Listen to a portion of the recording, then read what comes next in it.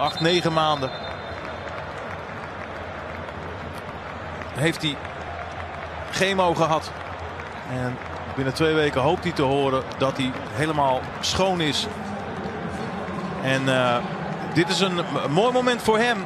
Voor Devin Plank. Na alles wat hij heeft meegemaakt de afgelopen maanden. Zijn terugkeer op de voetbalvelden. En daar is een mooie erehaag gemaakt door de spelers van Excelsior Maashuis. De spelers van Ajax. De knuffel voor Devin Plank. Omdat die hele groep de afgelopen tijd zo enorm heeft meegeleefd geleefd met Plank. Als je van zo dichtbij ziet hoe zo'n jonge gast het zo zwaar heeft gehad. Zo moeilijk heeft gehad. En nu weer terug op het veld. En inderdaad over een paar weken mag hij terug naar het ziekenhuis. Om te horen of hij inderdaad schoon is.